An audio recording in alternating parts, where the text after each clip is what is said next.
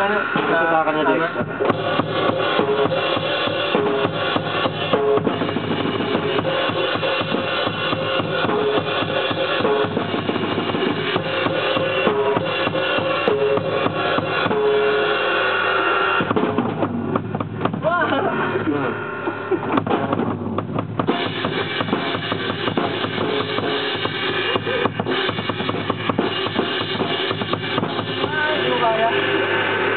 Huwag ka na magingay ka. Wala, Alvin, nag-iingay ka.